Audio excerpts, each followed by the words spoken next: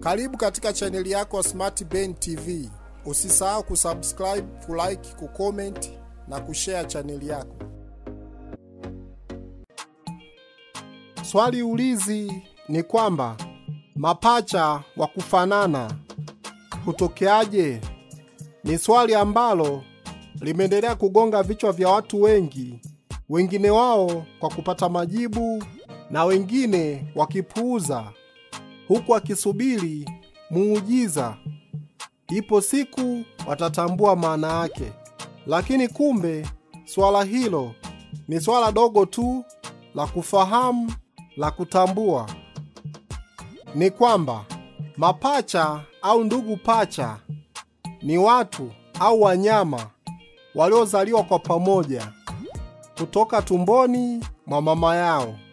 Kwa binadamu mara nyingi huwa wawili, na kiutaalamu kuna aina kuu mbili za mapacha ambao ni wale wanaofanana na wale wasiofanana, na utofauti wao huo hupelekea namna tofauti ya kutokea kwao, kwa sababu mapacha wa kufanana hutokana na kugawanyika mara mbili kwa yai moja lililochavushwa na hivyo kuwa viumbe viwili. Muda wa kipindi cha kugawanyika kwa yai huwa na umuhimu mkubwa katika mapacha hawa, kwani huweza kutoa mapacha kwa sifa fulani kuanzia masaa sabini na mbili hadi siku kumi na tatu.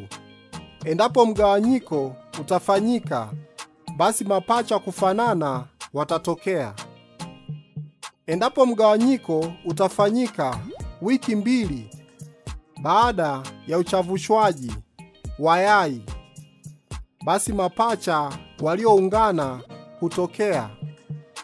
Hivyo tukizidi watofautisha mapacha hawa, tofauti zao za wanaofanana na wasiofanana ni kwamba kwa hao tunaoeleza waliotokea katika yai moja, mapacha wa kufanana hutokana na kugawanyika mara mbili kwa yai moja lililochavushwa na hivyo kuwa viumbe viwili.